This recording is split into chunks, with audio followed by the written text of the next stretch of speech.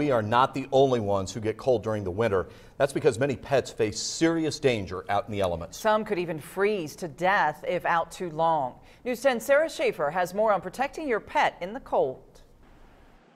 Winter weather is officially here. People rely on clothes to keep them warm, but the coat on an animal actually may not be as warm as our coats. As someone who takes care of animals every day puts it, winter can be rough.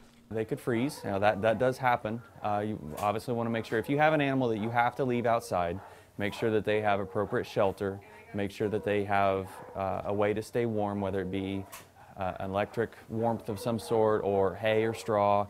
Some breeds are made for the cold, but others, like this one, aren't. There's animals that are built for this kind of weather, uh, that they don't mind. They actually thrive more being, uh, being outside, and they, they enjoy it if they're, if they're out playing in the cold. But you know, the short hair breeds that they don't have the double layer coat or the extra insulation.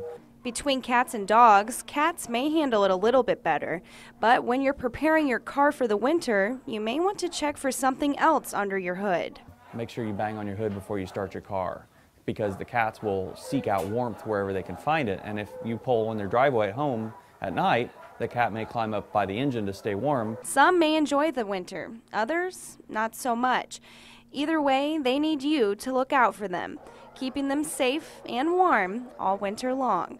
In Terre Haute with photojournalist Cody Murphy, I'm Sarah Schaefer, News 10.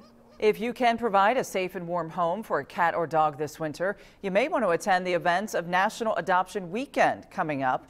For location and times, visit our website, WTHITV.com.